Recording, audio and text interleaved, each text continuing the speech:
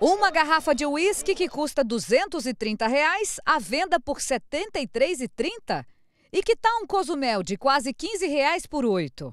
Os preços seriam assim se não fosse a cobrança de impostos.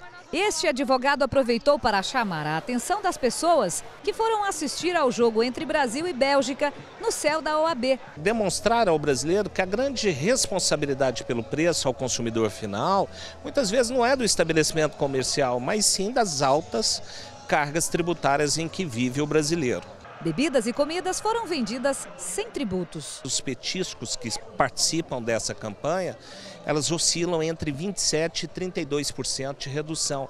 Ah, o frango a passarinho sai de R$ 34,00 para R$ 25,29. Quer dizer, há uma diferença impactante. A arrecadação de impostos no Brasil cresce em ritmo acelerado. Para se ter uma ideia, de acordo com o impostômetro, que é a ferramenta que calcula em tempo real a estimativa de impostos cobrados no país, o brasileiro já pagou mais de um trilhão de reais até o início deste mês.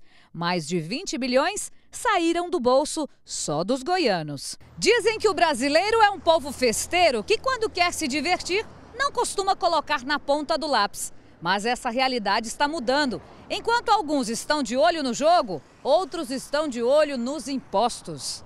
E se não teve final feliz em campo, pelo menos todo mundo por aqui pagou o preço justo.